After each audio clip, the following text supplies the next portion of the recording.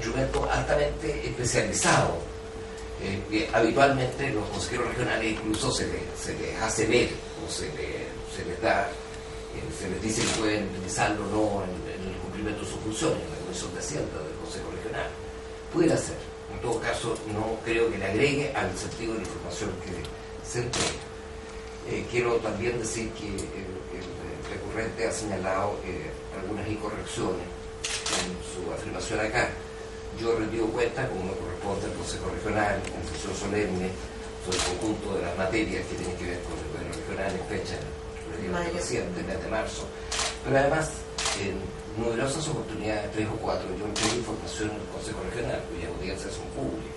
En particular en Puerto Octay, en el mes de mayo, tuvimos una sesión especial dedicada al tema de Chaitén, con presencia de personal de distintos tipos. Yo hice una intervención en que me referí a una cifra que no es de 47 mil, pero es aproximadamente 9 millones o una cifra como esa.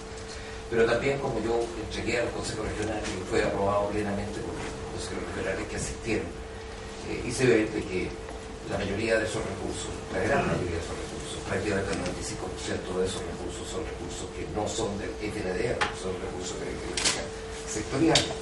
De modo que a mí me parece que especialmente la consulta refería a todos los antecedentes en relación a los puntos globales, partidas tributarias específicas, lo que nos lleva, nos lleva, nos obligaría a incorporar los gastos, eh, reducciones del Ministerio de Agricultura, del Ministerio de la Pública, de los diferentes ministerios de partidas presupuestarias que hay, salvo aquella que está establecida eh, como transferencia, porque el Fondo Nacional de Desarrollo Regional efectuó una transferencia a días de ocurrir la tragedia de 1.400 millones a la subsecretaría del Interior, con eso pasando a intendencia del gobierno regional, para aquellos gastos que eh, eh, constituyen los gastos más inmediatos de la, de la emergencia.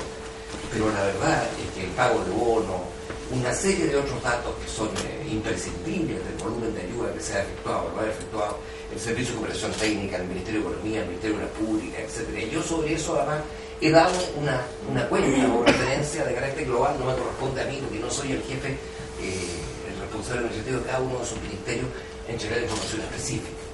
Y en particular, bueno, después podemos ver algunos otros temas. Cuando nosotros remitimos a la presidencia es porque aquello que tiene que ver con la delegada presidencial tiene que ver con esa dependencia.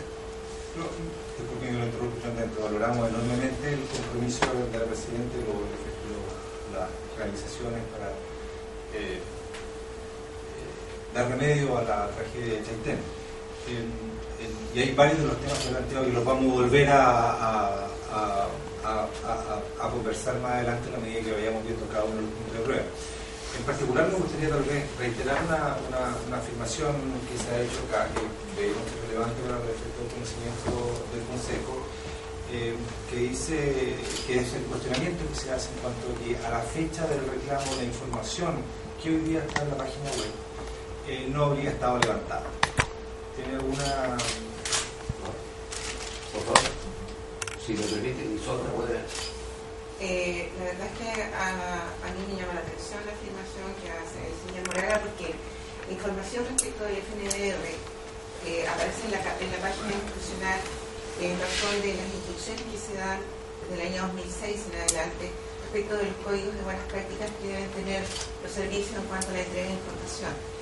Fundamentalmente el FNDR, que es un fondo de administración regional que tiene características, digamos, bien especiales en cuanto a su decisión, porque es el órgano ejecutivo del gobierno regional, más el consejo, que tiene un amigo, como ustedes saben, de, representación, eh, el que resuelve, o sea, no es el ejecutivo solo el que resuelve ningún aspecto del FNDR o sea, es el, Consejo Regional en conjunto del presidente, más los consejeros los que resuelven.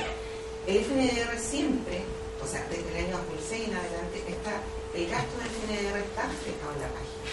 Está reflejado en la página en qué sentido? Primero, en los acuerdos del Consejo, que resuelven respecto de qué proyectos y en qué ámbitos en que está autorizado el gasto del FNDR se va a invertir, en qué provincia se va a invertir. Por lo tanto, la eh, información también está por provincia, ¿ya?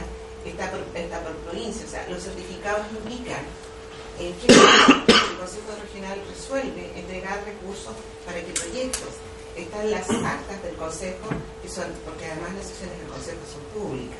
está toda la información relacionada con cada uno de los proyectos del FNDR eh, eh, eh, financiados durante el año 2006, 2007 y 2008 y el 2009.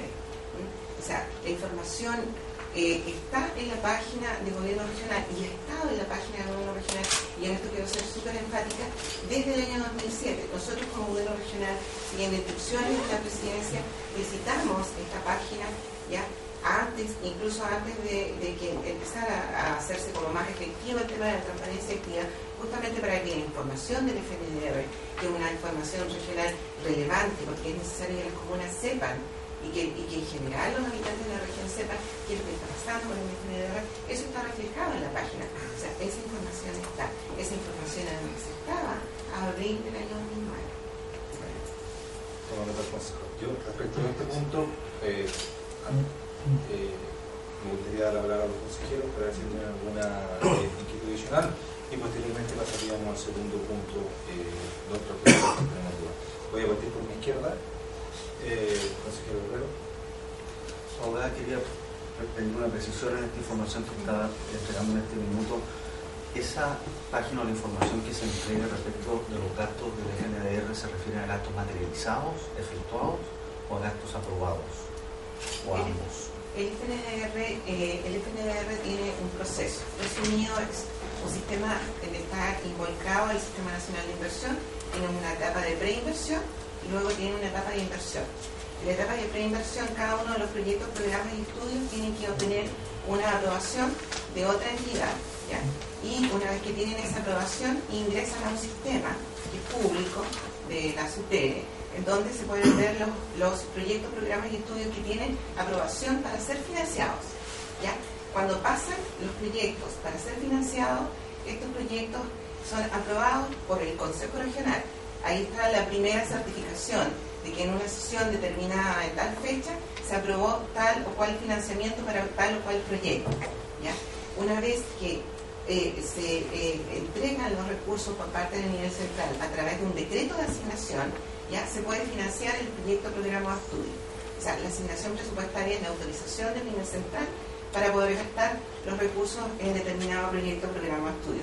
Eso también se ve reflejado en la página.